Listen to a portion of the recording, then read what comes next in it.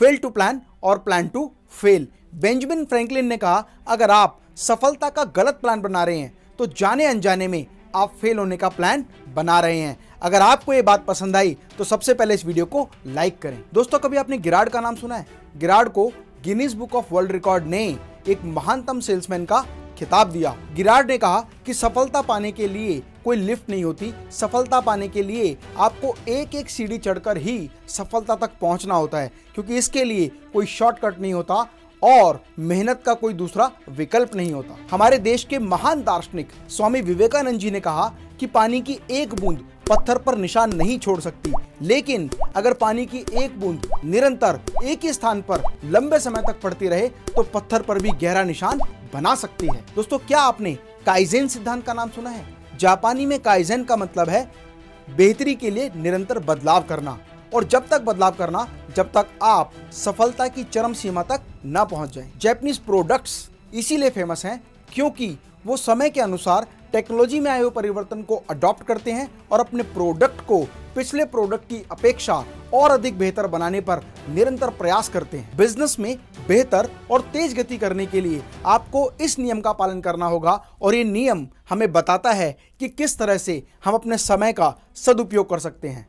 बहुत सारे बिजनेसमैन से जब मैंने पूछा कि आप अपने बिज़नेस का शेड्यूल बताएँ तो उन्होंने बताया कि हम सुबह नौ बजे ऑफ़िस जाते हैं और शाम को सात बजे वापस आते हैं। और कुछ बिजनेसमैन ने कहा, हम सुबह दस बजे जाते हैं, शाम को आठ बजे वापस आते हैं और कई बार तो वापस आने का समय भी निश्चित नहीं होता। आज मैं आपको बताता हूँ कि समय का सही यूटिलाइजेशन कैसे किया जाना चाहिए ताकि आपके द्वारा बिज़नेस में दिए गए समय से आपको बहुत अच्छा रिज़ल्ट प्राप्त हो।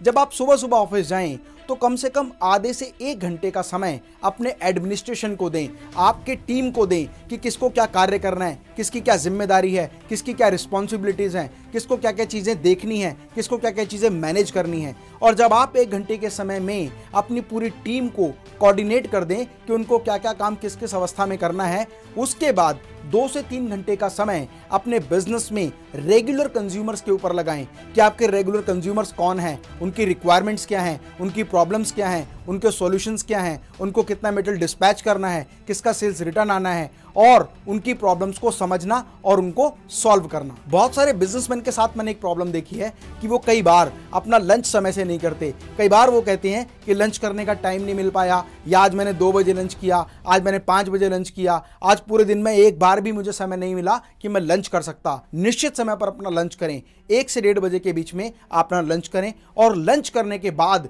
जो सेकेंड हाफ़ का सेशन जब शुरू होता है सेकेंड हाफ़ का टाइम शुरू होता है तो उसमें आपको दो से तीन घंटे का समय देना है। आपको कोशिश करनी है try to find out new buyer new supplier new vendor new client new dealer new distributor कहने का मतलब आपने अपने समय को दो हिस्सों में बांट दिया।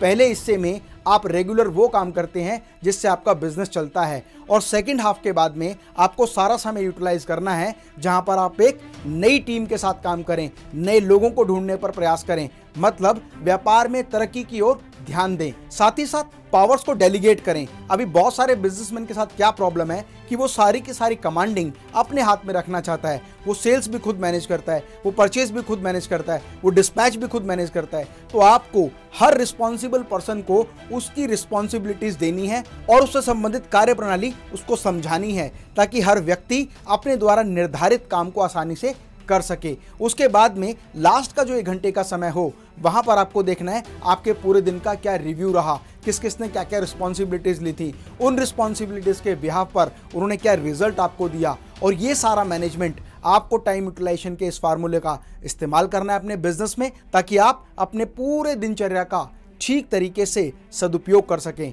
और साथ ही साथ इस पूरे सिस्टम को आपको फॉलो करना है चार से पाँच दिन। एक दिन पूरे वीक के रिव्यू पर लगाएँ। मतलब किस किस रिस्पॉन्सिबिलिटीज़ को, किस व्यक्ति को दिया था, उनसे क्या आउटपुट लेना है, उनका क्या इनपुट है, उनके क्या क्वेश्चन हैं, उनकी क्या क्वेरीज हैं, उनके क्या सॉल्यूशंस हैं, और किस तरह से आपको मैनेज करना है अपना अगला वीक ताकि आप नेक्स्ट वीक की प्लानिंग एडवांस में कर सकें। किस किस वेंडर से मीटिंग है किस किस सप्लायर से मीटिंग है, कितने नए क्लाइंट से मीटिंग है, कितने ओल्ड क्लाइंट्स से मुझे री ऑर्डर जनरेट करने हैं। और ठीक इस सिद्धांत का पालन करके आप हमेशा अपने एक वीक का शेड्यूल कर पाएँगे। पूरे महीने में चार वीक होते हैं और उन चार वीक में जब आप इस मैनेजमेंट के सिद्धांत का इस्तेमाल करेंगे तो आसानी से आप पूरे मंथ का मैनेजमेंट सिस्टम तैयार कर पाएँगे। और मंथ एंडिंग पर आपको मैनेज करना है पूरे महीने का रिव्यू मतलब पूरे महीने में किस किस दिन में किस किस हफ़्ते में, कितने कितने ड्यूरेशन में आपने कितनी सेल की, कितनी परचेज की, कितना स्टॉक बचा हुआ है, कितना आपको रीपरचेज करना है, कितना मटेरियल सप्लाई करना है, इन सभी का डाटा इकट्ठा करने के बाद आपको रिव्यू निकालना है कि प्रीवियस मंथ की अपेक्षा इस मंथ आपका क्या रिज़ल्ट रहा।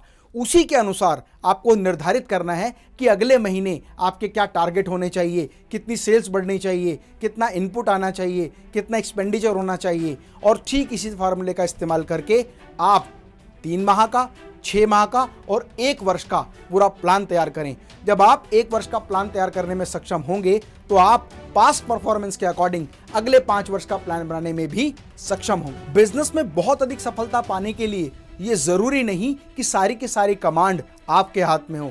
बिज़नेस में केवल वही व्यक्ति सफल होता है जो सेकेंड लीडरशिप जनरेशन तैयार करता है। मतलब आपके बिना आपका बिज़नेस कौन संभाल सकता है? और वो लोग केवल सेकंड जनरेशन के होते हैं। और उस सेकंड जनरेशन की टीम को सेकंड लीडरशिप की टीम को तैयार करके अपने बिज़नेस को धीरे धीरे एक्सपेंशन पर लेके जाएँ। न केवल भारत में, बल्कि पूरे विश्व में अपने बिज़नेस को एक्सपैंड करें। फ्रेंड्स हम में से बहुत सारे लोग बिज़नेस का प्लान तो बनाते हैं, लेकिन उसके बावजूद भी सफलता नहीं मिलती, क्योंकि उनको नहीं पता होता कि जो प्लान उन्होंने बनाया है वो आपके बिज़नेस की सफलता के लिए सही है भी या नहीं? क्योंकि आप ये नहीं समझ पाते, आप फेल टू प्लान है या प्लान टू फेल है। इसीलिए ज़रूरत पड़ती है एक एनालिस्ट की, जो बता सके कि आपके बिज़नेस में किस तरीके का प्लान डिज़ाइन होना चाहिए। बिज़नेस में सक्सेस के लिए और एक्सपेंशन के लिए अगर आपको प्लान बनाने में हमारी कोई हेल्प चाहिए तो आप मेरी टीम को कांटेक्ट कर सकते हैं। ये वीडियो आपके सर्कल में बहुत सारे लोगों के लिए बहुमूल्य हो सकता है।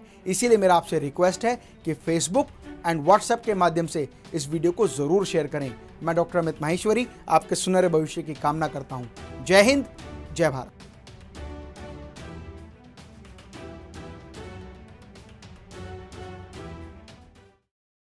है मेरा नया दोस्त, जो मुझे लेटेस्ट ज्वेलरीज की शॉपिंग करवाता है।